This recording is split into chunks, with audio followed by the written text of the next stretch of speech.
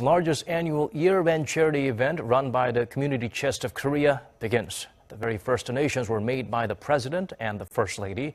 The goal is to raise more than $360 million before the end of January. Hwang Ho-jun tells us more.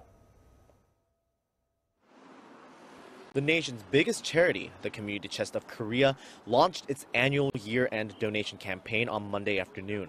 To mark the occasion, a small event took place at the Blue House where President Moon Jae-in made the first donation prior to receiving the Fruit of Love badge to signify his contribution. It was President Moon's first official event since returning back from his eight-day trip to Southeast Asia.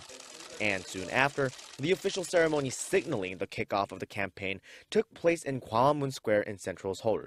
This year, the charity is seeking to raise 399.4 billion won, or over 360 million US dollars.